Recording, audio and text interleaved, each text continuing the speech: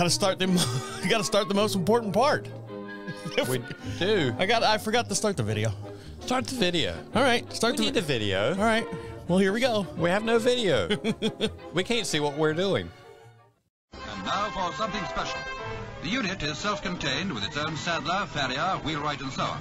It's a rigorous training dished on who know all there is to know about horses, and it brings results. We take you behind the scenes now to show just some of the interesting aspects of this training.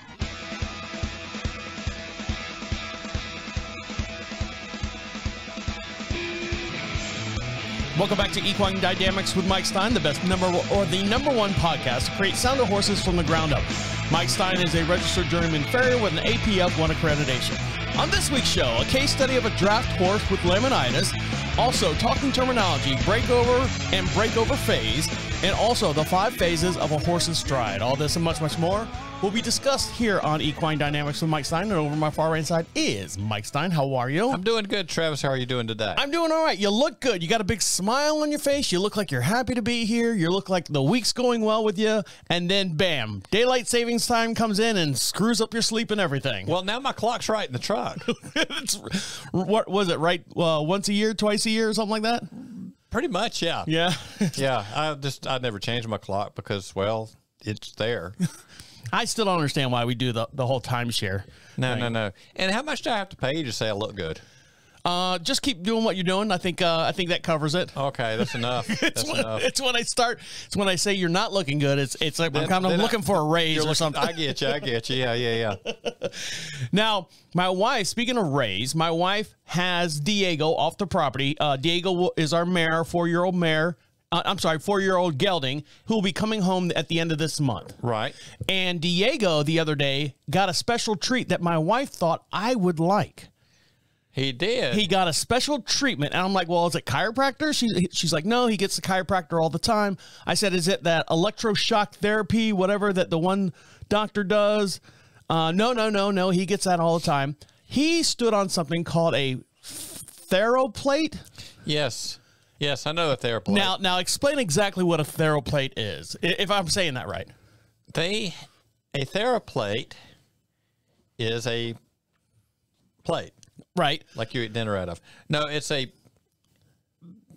I think they're about maybe about four six inches, about six inches tall, and My wife, my wife says it's about the length of a horse. It's two plates, two plates, Uh, one length- for front, one for back. and it's is about two foot wide, and it's about the length of, of a- if you put them together, it's the length of a horse. Right. And Diego stood on it, and it vibrates. Yes, that's it. I think I, I've kind of laid out on one on a massage, uh, uh, a uh, what do you call it? The yoga mat. So do you do you find this at like Sharper Image or something like that? Have you seen them before? or Yes, Have I've, you? I've got I've got cl- uh, clients that have them in the barns. Now my wife says because of my back that I should stand on it, Yes, and you should. and it uh, see in my Stand mind. on it long enough, your legs feel like you're rubbery. They're rubbery when you walk. After a while, though, that you start itching, wouldn't you, from all the vibrations and everything? that's fleas. Oh, maybe you should take it, hose me out, hose me down in the washer rack while I'm standing on it. Poss- yeah, that's fleas. That's But fleas. but I would think my vertebrae, because we're vertebrae are straight up and down, that makes us different than horses. And horses' vertebrae are, are horizontal. I would think yes, that would be fine for a horse horizontally. But for me to stand up and down, I could just see my everything packing together like sand in a bag. If I, I the, one, of the best things I've ever done talking about theraplates, I've stood up on them, I've laid on the yoga mat, but uh, had someone who had a yoga chair, or not a yoga chair, but zero gravity chairs. Yes. Which, which I don't understand that because no matter what, you still got gravity. right, you're not floating around. right. A zero gravity chair on one, they kicked that thing on. I got kicked back and that got comfortable and it was, it put you to sleep. They don't have a zero gravity chair for a horse, do they? I don't think they have one of them yet. No, okay. They're working on it. Well- Well, working on. We're working on it. I'm- I'm- Special, you know. I'm working on something for you guys, our listeners out there. And don't forget, for every podcast we do, we have a matching video. Um, Mike's got a bunch of stuff to go over on this week's show, so make sure you run over to YouTube and you can watch the video of us- us here in the studio, me waving to Mike, Mike waving to me. And he's got another hoof here in the studio. He's going to show you the actual phases of a horse's stride. Uh, we've got a bunch of pictures of Mike. Um, he uh, did a, a thing about uh, nailing a piece of plywood to a horse's foot that had laminitis. So those pictures will be up here shortly. But here's what I got for you guys, our listeners. And the way you can get some free swag from us is go over to equinedynamics.com. ask Mike a question. If we read it on the air, we'll send you out maybe one of these. You ready, Mike? Hold on. Okay. Let's see what we got today. All right. Aren't you something? You got There you go. Open it up and show the camera. What do you got there? all right. What do you got? T-shirts. Yes. Isn't that something? There you go. So I got a whole bag of them over here. I'm going to hand them to you. We we might have a contest or something. The best because there's only a there's a handful of them in there. I think there's maybe 12 or 13 shirts. So maybe we'll have a contest where whoever comes up with the best question of the week, uh, we'll send one out to them. So there you go, Mike. There's something else in there. Oh, there's probably like swag from the people I bought the shirts from. Oh, there you go. You can have that, Mike. That's all.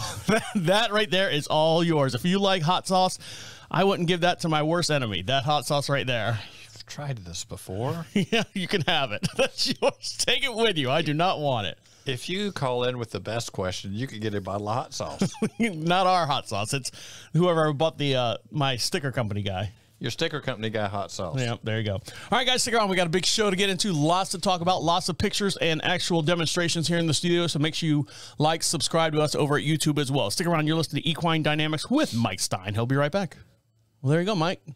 You got it. Wow, that's a surprise. Thank you. Let me see. I'll hold it up so you can see it. I think there's like four of them in there. Yeah. So and they're two X. So I figure two X would cover anybody that you know is on your route or anything. Right. And you can hand them out to whoever you want. But there's, Okay. there's four in there. If you want to keep one for yourself, uh, whatever you want to do, and I'll, I'll leave it up to you. Okay. But and then that Sticker hot mule sauce. hot sauce. Yeah, I've had their hot sauce. Have you? Is it any good?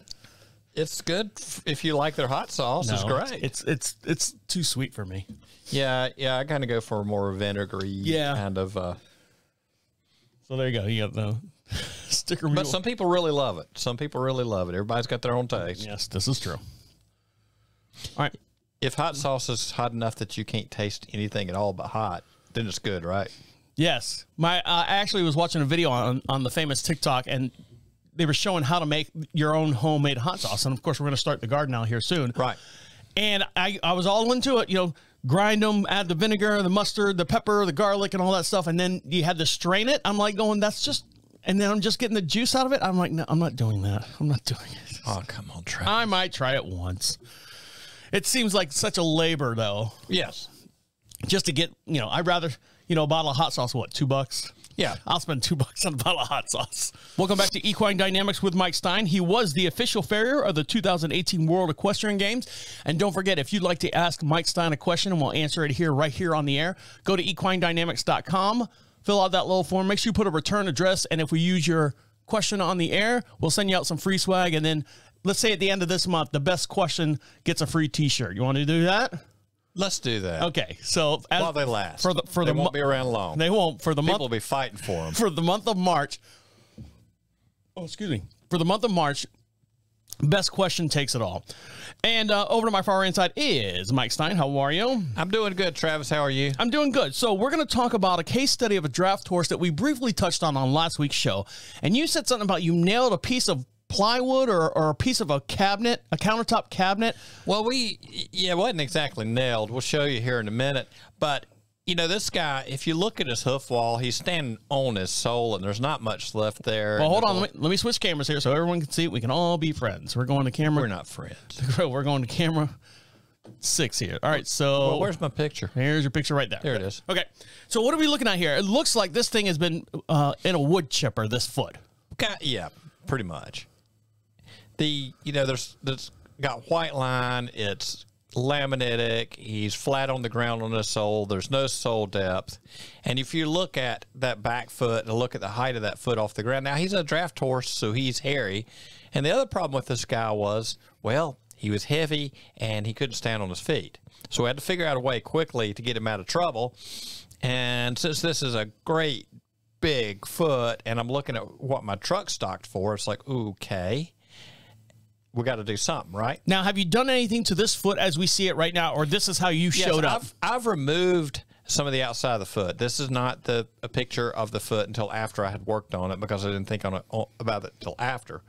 But you can see where I've trimmed off some of the big flare. And most of the hoof wall was not hitting the ground, and you can see the area where it was undermined. That see that dark on the other side away from it there. Uh-huh. Okay, that was separated all the way up. So remove that. And there was a lot of separation under there and cleaned it up some. And around the edges of the wall, there's a lot of separation. So structurally, that foot's not going to hold anything as, as far as like nailing or screwing through the wall itself. The wall's just not not going to not going to do it. All right, so this it looks like this looks like a pie plate. Sometimes it is. It is. Sometimes you just got to run with what you brought to the track. And that day we didn't bring much. So that you've traced this foot out out of a there's a piece of some cabinet top. And, you know, I was looking around, what do we have? He had some old cabinet top. And uh, so we got the foot on it, did a quick trace around. I put some screws into the cabinet top, and you'll see in a minute. I gr- and I ground down under. See where the bottom it's all ground out there. yeah right here yeah. Okay, that's dipped down under the area where the sole is dropped. And then in the back, I drilled some holes in it because I'm I'm, I'm put, going to put some impression material in there, fill in around the frog. We're going to load it up with a bunch of stuff to kill all the cr- creepy critters that are living in that foot. And we're going to set the foot on there, you know, get the foot up, get it down, set it on there, and uh, make my impression. Get get the foot back up, clear everything to where we don't have anything under you know under the foot where we don't want anything to be. Look at all these screws. These are regular deck screws that you Those buy deck screws. from Home Depot. Deep, Home Depot. No, I don't. Those, may- those may have come from uh, the local hardware. Or they may have come from Lowe's or whatever might be. Now this is the other side of that foot that This we were the other side. All right, so here's this is the this is going to be hitting the ground, I'm right? set. I'm gonna, no, no, that's going to be against his foot. Okay, so this is against his foot, and this is what's going to be hitting the ground. that's what's going to be hitting the ground. okay. and you know put some breakover in it a little bit. And big thing with this guys we're just getting him off the ground and we're getting some support under him and we're getting the foot out of out of a bind you know he's standing on his coffin bone basically. And we do not like horses standing on their coffin bones. That, that's that's painful and it will start eroding away. You can get chips to the coffin bone a lot of abscess and apparently it, it had a lot of abscess and for obvious reasons. Okay there's what the bottom of the foot looks like. Now this is you've got the horse's hoof up into your hand, up in the hand. And this it, it, this I'm assuming this is blood. For this is just from this is just from wiping off the bottom of the foot basically. It was that thin and uh, i mean it's that that was hitting the wire you know basically just starting to brush stuff off and we got blood there wasn't now is this the coffin bone here? no no that's the that's either side of the frog Okay. and uh, Sorry, that, that's that's what I meant. The frog. Right, that's the frog in the center there, and it's it's flattened to nothing. And the hills were collapsed under, so I took them off, and everything forward is off the ground. Really, I mean, you look at that. That's not. There's no hoof wall. He's standing on a nub. Now, how did he get to this situation, this this predicament right now? Well, he had been laminitic for a while, and the- only thing we can do with this foot is get get him up and down real fast. We hadn't got but seconds. Get him in there, get him down, and that's part of why I opted to go with. Well, you got to run with what you brought to the track, right? Right now, now you've got looks like uh, tapioca pudding, and the the piece of plywood or the cabinet deck Right, and you can see there is on his foot. It's on his foot. We got it rocked back onto that base with where we trimmed the heels back. So the front of the foot is clear of the board, and we've glued it at this point. And we've got the, the impression materials under there. It's been trimmed out, so we don't have any pressure up there around that coffin bone at all. And you know, we put the deck screws into the board, and we and you can see the deck screws a little bit there. This is not for a showpiece. Right, this, is a to be pretty. Yeah, this is a healing piece. This is a we're in a bind and we got to do something for this guy. Some days you just got to figure something out. and So we glued. This is like the the super fast fold build. Uh, there's several companies that come out with this material at this point. At this at this point, the only about the only, only company that had this was probably Equi-Thane. Was the only one on the market. now, it, will this harden this tapioca pudding stuff on the side? This is hardened, yes. That hardens pretty quick. And if you go back to that back shot, you can see a little bit of the the in- dental impression material that's squeezed out the back, the the red back there. oh, oh, I see it back here. Okay, Yes. that's up under the back of the foot.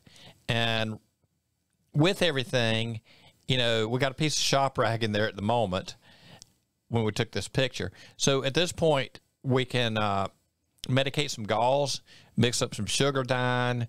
Uh, if you on, on a foot like this, if you pack gauze, roll gauze are good because then you can load it up with Sugardine and start stuffing it in from the front. And then you got one end of the roll gauze, you can grab the thing and pull it back out.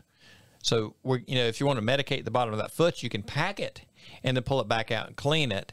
And because we don't want any more infection started up, and we want to get this foot a chance to heal. Now, how long did he walk around like this? Well, we left him in this as long as it would hold together. So he was wearing these for about three months Oh, really? That long? and kind of left the owner to pack the front of the foot. And, you know, Owner was okay with that? owner was okay with that. The I think at this point the owner had been working on the horse's feet himself mm. up to the up to here, and we're in trouble. So at that point, like I said, we got the shop rag park, packed in there because we I think we had a little bleeding at that point from from just messing the foot around. We just put a little pressure on it, and I don't keep a tr- at that point in history. I don't didn't keep a truck stocked like I do now, and. Uh, so it was, we had to figure out something quick. This guy actually lived a good many more years. I don't, you know, don't know that he ever rode again, but I, I don't think the plan was for him to, to ride. And uh, gave this foot a chance to grow and heal up some and and get him out of a bind. What, And what was his job? Was his job eating stuff. okay? So he was a lawn ornament. He was a great big fella and he ate a lot of stuff. Uh, I think at one point he trail rode. Okay. Uh, I don't know that he ever did much bat past this point. And at this point, I don't think the owner was really riding horses anymore anyway. But he lived for a good many more years and did okay. You know, I'd heard through the grapevine about he, he I think eight, ten years later, he was he you know he ended up going down because of old age. Did did his hoof recover? I guess. I guess I'm assuming 100 percent if he lived another eight to ten years. Well, there was a certain point where I didn't see him again. Okay. You know, I did. I, I saw this guy a couple times, and the deal was, you know, as long as he was growing foot, the owner was trying doing their own trimming, and they wanted to continue to do their own trimming. And so basically, what it did was he lived with his cabinet top pieces on his foot, and he walked through them. During that time, it gave him a chance to grow some sole. Well, good. Good And for this him. is not this is not Purdy. It's not you know. There's there's a lot of stuff. This was a long time back. There was a lot of stuff made out there, and when you come to these big horses, it's harder to find stuff pre-made. But it used to be when you pulled up somewhere, you better figure out something, and you better figure out a way to make it. And sometimes you got to got to pull a rabbit out of the hat one way or another and make something happen. And the clogs and stuff they sell now, they started off with pieces of plywood and such things. so evolution of the horses. Uh, Right. Foot. So we, we got him happy. well, good. He went out and he ate and did his thing. All right, guys, stick around. When we come back, we're going to talk terminology. Stick around. You're listening to Equine Dynamics with Mike Stine. He'll be right back. I got the I got the hoof. I got the hoof. All right, you ready? yes. Welcome back to Equine Dynamics with Mike Stine. He was the 2017 American Eventing Championship Farrier. And don't forget, for every podcast we do, we have a matching video. You can see all these great pictures and great demonstrations uh, that Mike has here in the studios. We got cameras all the way around the board here, so you can see me waving to Mike, Mike waving to me, and how good Mike looks over there. I must be paying you pretty good. You do look good. Every time I see you, though, you know, for a man who does the the work and I've seen you out there. I mean, you you take care of our horses here on the property. Uh, usually at the end of the d- end of your shift because we're on your way back home. Right. And Mike, I mean, not for nothing.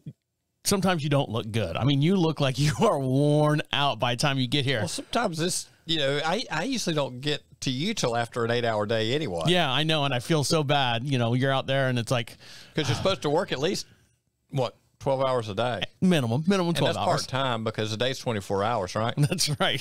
Sleep later. All right, we're going to talk terminology. So, the first word we're going to talk about is breakover, and then the second term we're going to talk about is breakover phase. So, what's the difference between the two? Well, what? Go ahead. Are you going to answer that? What's a breakover? You can, you can, I was going to read the definition that I have here on my handy dandy cheat sheet here. So, breakover means when the foot or hoof rolls in. That's a rooster. time to wake up. All right. Breakover is when a hoof or foot rolls into the toe and leaves the ground, or the action of the hoof as it leaves the ground. So that's what breakover means. Right. So uh, we're gonna switch to camera two here, and Mike actually has a hoof. You can hear him banging on the uh, the table here. He actually has a hoof from a horse. He's gonna demonstrate what an actual breakover is. So go over to YouTube. Make sure you uh, watch this video. Make sure you like and subscribe. You can comment too as well. Uh, I answer the comments, and if I can't give you an answer, I'll send it over to Mike and here answer your comment. Okay, when the breakover starts is the moment that the heel starts to leave the ground and it starts to roll forward. Okay. And you know, when we're talking about whole lever arms and all this kind of stuff, a long long toed horse versus a short toe horse versus something where we've put some mechanics on it to move it back. So you do have some some ways you can alter how much tender pressure tendon pressure they're dealing with that changes the movement all the way up through the shoulder. So breakover does it refer to all four feet? all four feet, Okay. fronts and hinds, and uh, but it's the, the moment this is we go here. Okay. That's the breakover, and actually the true definition of breakover is, you know, when you're through sitting on your anvil because you judge your anvil height by being able to prop on it, and each pack, pack of crackers and honey bun or moon pie or whatever your whatever your health food of the day is You're making me hungry, Mike. because you know you always try to eat healthy, We. I try to at least, yeah. I got to look good for the show. That's I got I got to keep up with you. Yeah, the breakover phase starts from the hill starting to crack off the ground all the way through and goes into the foot coming through up through the swing into the swing phase. So that's the difference between all right. The breakover is the actual movement when the heel leaves the ground. That that instant is starting into breakover. Okay, and then the breakover phase, by definition, is when the heel from the heel off of the toe. All the way through the toe coming off the ground and going into the swing phase. Okay.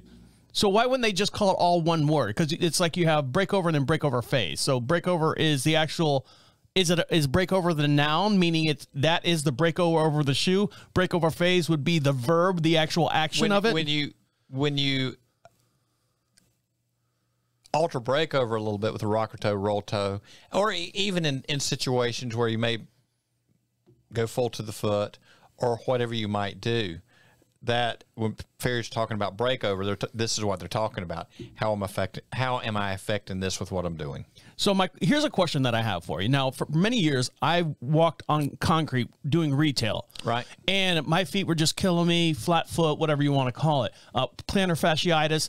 There is a thing where you can stand on a machine where you can stand on it. It can show you all the pressure points where you're putting your pressure on, you know, where it's hot red here, nice and yellow here.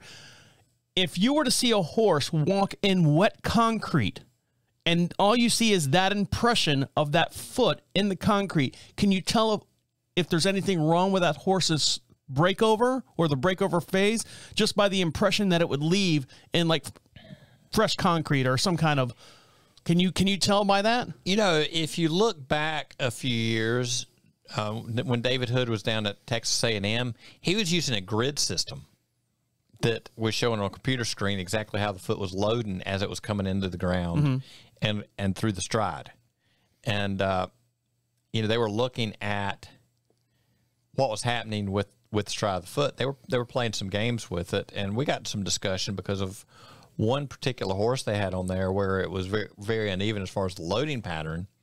Feet were fairly convention, uh, fairly ma- fairly matched up. None of them are perfect, and you know, off to the side. This was at one of the bluegrass laminitis symposiums back when they used to run that some few years back, twenty plus years ago.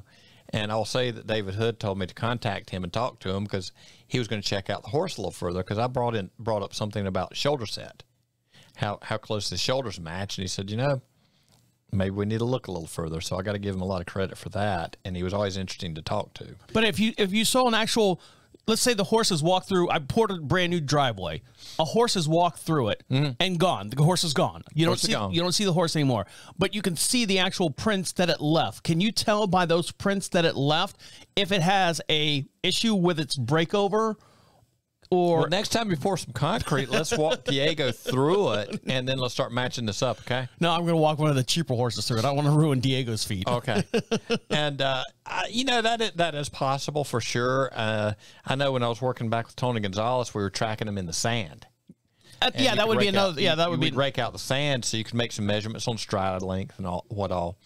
And you know it was real cheap testing equipment to see how well you had the horse tracking out, how straight it was, because you could check in a trot, you could check your, your stride length against your diagonals. But so you can do that. That is a that is a way to you know once a horse has left whatever, and you can look at its track, you can tell. Yeah, this You, horse. you can tell some stuff, yes. okay, that that I guess that's the answer to my question. And if you want to run, run your horse through wet concrete after you, you you have the guys come in and do all their hard work and walk your horse through it, that that's good with me because it's your place. I'm going to stand on one of those thermal plates and then walk, Right. try to walk through wet concrete. All right, guys, stick around. We got a lot more to get into.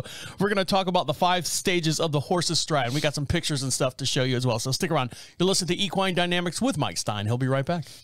right. I shaved my mustache, or all the little hairs that were there before are now tickling my nose. Is it making your nose tickle now? Hmm. It is now. Watching me do it. But that's fleas. do you like my beard? Do you like the? It looks. You look good, Travis. I gotta hide this big fat chin of mine. But this, the, my shirt makes me look slimmer. Yeah.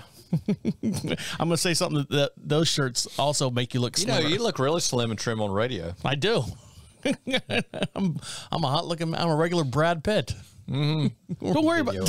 Don't worry about. No one's gonna get you for copyright, Mike. Don't worry. Okay.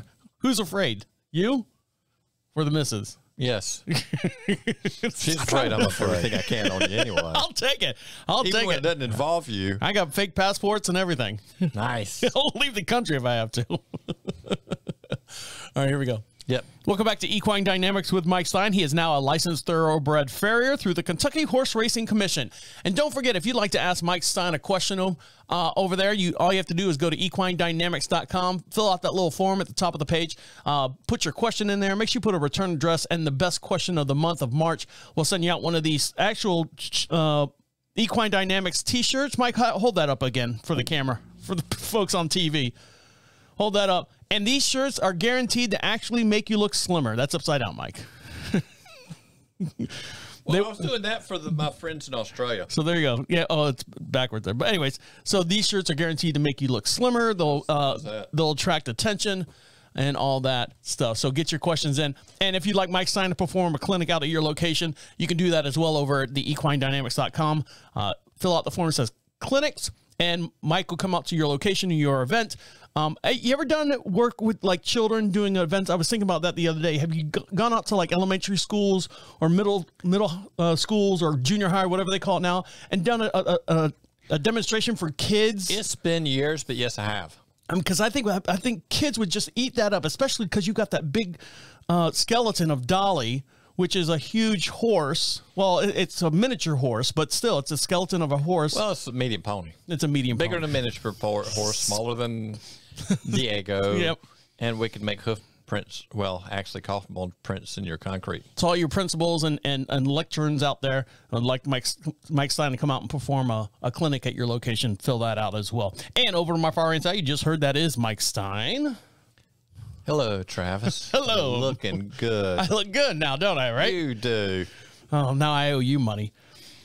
Nice. So now we're going to talk about the five phases of the horse's stride, and I've got uh, some drawings here. So now's a great chance to go over to YouTube channel. You can see this as well. Phase one is landing or impact. Phase two, loading or support. Phase three, the thrust. Phase four is the breakover phase that we talked about in ter- talking terminology, and also phase five is the swing phase. So let me switch to camera six, and we can see this. Um, where is it at? Where did I got it? Did I lose it already? Hmm. I'll open it up again. Here we go. Okay. All right. Yeah, So here we go. So phase one, The leg is swinging through the air. this leg right here. This leg right here, but actually both legs. One's about to make impact, one of them's not. The horse is galloping. And, you know, if you want to get real nit- nitpicky, there's a, in the swing phase, there's flexion and then there's extension. And then there, and how the shoulder is moving, if it's free, uh, definitely affects that. And, you know, we always talk about the horse's feet landing flat. When that ho- horse is in flight, the conformation of the leg makes a difference on how that foot lands. And also, you know, I've had people, my horse is doing a piaffe, which is basically a trot in place, and it's not landing heel first.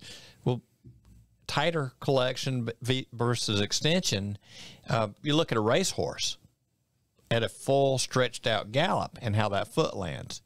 If they land toe first, they're going to cut a flip.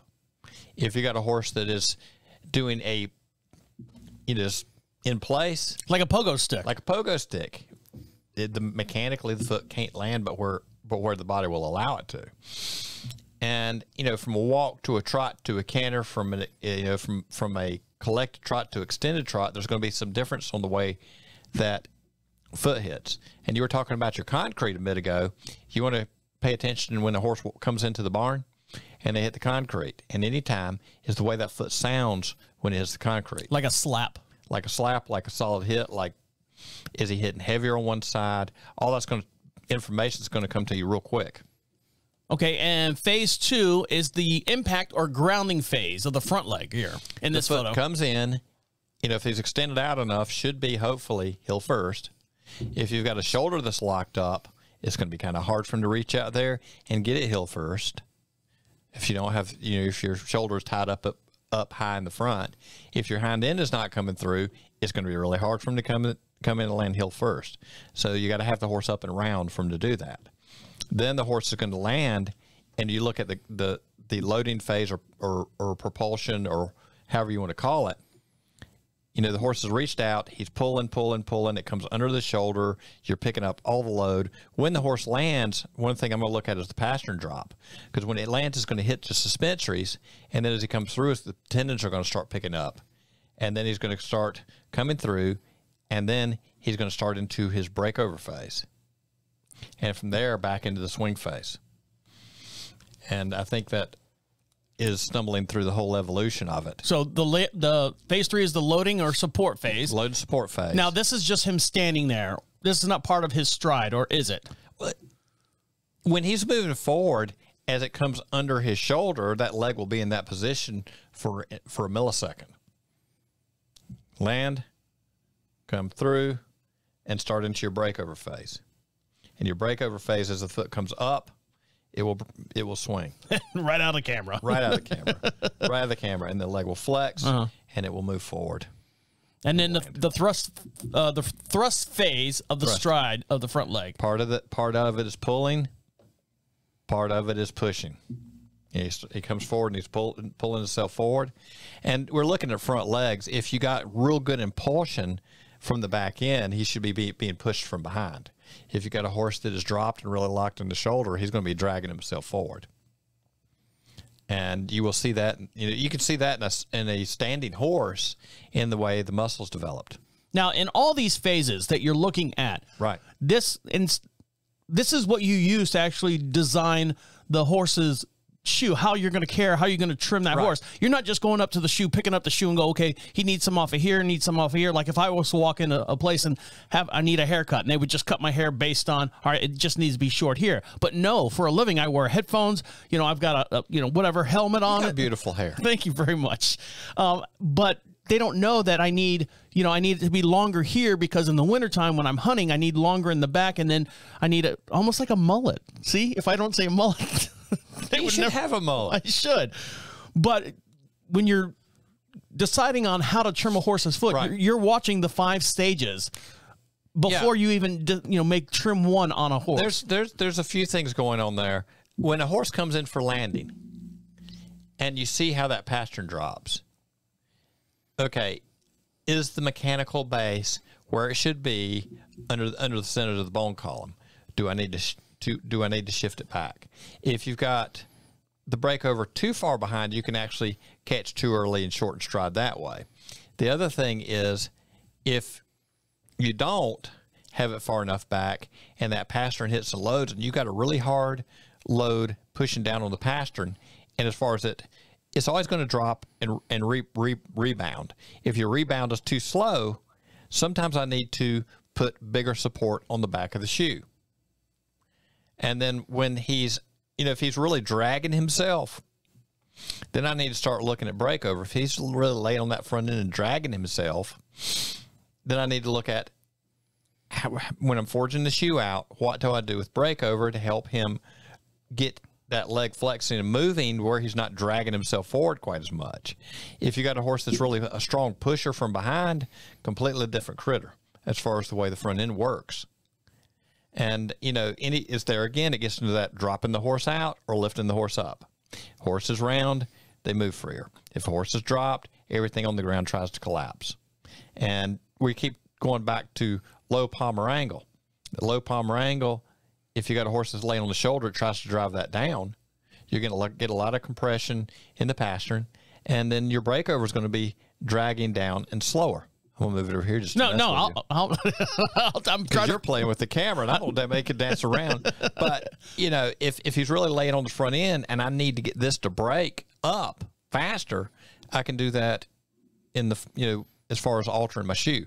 If you're playing with a rocker format, that horse may need the belly of his rocker further back because when he lands, if he's in a rocker format and he's collapsing over backwards, the horse that's laying on the front end hard will tend to push this way if you got that belly set too far forward. So I want them to come in and roll through. You know what I need? Not to get off topic. I need my wife's uh, Pivo camera to follow you around on the table with this thing, where it would automatically And move then when and they stuff. back up, they go this way. And then when they do, do right. diagonals, they. How's that? All right, guys, stick around. We got one more segment to get into, and we'll let you get back to enjoying your horses. Stick around. You're listening to Equine Dynamics with Mike Stine. He'll be right back.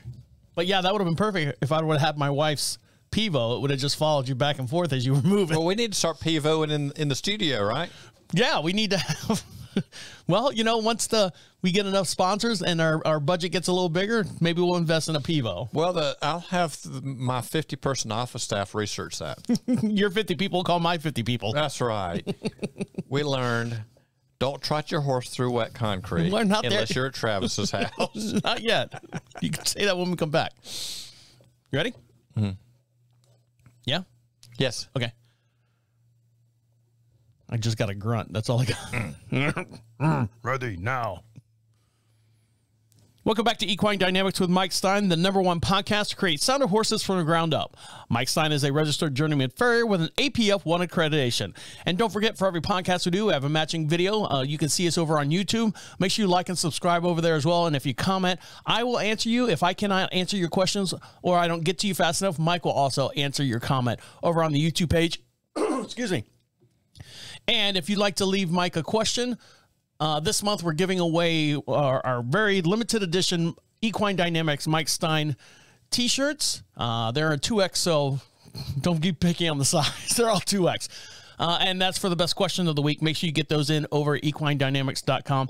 And make sure you like and subscribe to Mike Stine over on Facebook as well. He, he, he puts a bunch of different articles up there about horses and furthering your education on the equine world. And over on my far right side is Mike Stine. How are you? I'm doing good, Travis. How are you? I'm doing all right. So, what did we learn today? The case study that we had of the draft horse with laminitis, and you use half of a half of the kitchen sink or something like that to fix his the, foot. the kitchen cabinet they torn out because sometimes you just got to figure out how to do something, and you know, some I, I don't like following up. I mean, having to chase stuff around, but you know, we used to have to be a little more creative and stuff we built to put on horses' feet than what's out there now. You can order all kinds of stuff, and you can even order some things for draft horses, but at the time there wasn't.